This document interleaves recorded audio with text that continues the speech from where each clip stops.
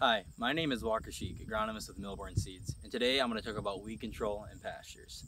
So the first thing when we think about weeds in pastures, we're usually talking about perennials or biennials. Um, a lot of times we're used to the, the annual species that we see in our row crops, but species such as Canada thistle, leafy spurge, some other thistle species are all perennial and biennial species, and it's important to know that because they need to be managed a little different.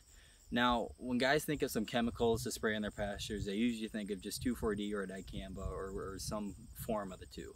um, which are good good options to use, especially on our annual broadleaf weeds. But when we're talking about Canada thistle, leafy spurge, or other perennial and biannual weeds, it's important we look at some of our more slow-moving, um, more effective chemicals to use, such as milestone, tordon, and so forth. And so the, a good time to spray those type of chemicals would be in the late fall, early summer time frame. So you're probably looking at late August, early September in the, in the Dakotas.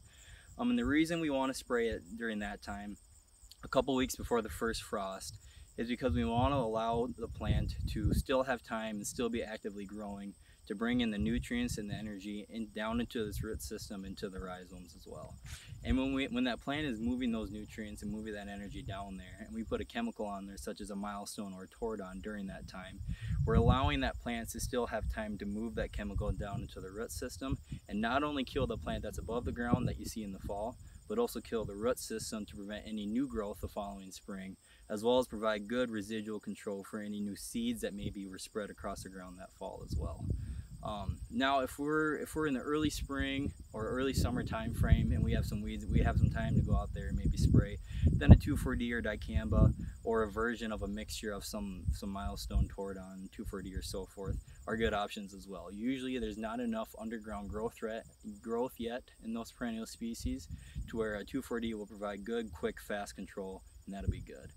I know a lot of guys have questions to where if they have clover in their field or some type of broadleaf that adds forage value to their pasture and they want to spray the weeds but they don't want to kill their clovers. Um, a product called MCPA or MCPE is a good product that'll be easy and it is actually labeled for clovers. Um, it may not have the best control on the weeds you're trying to kill, but repetitive applications um, should provide good enough control of those weeds while still maintaining good growth of your clovers in your pasture.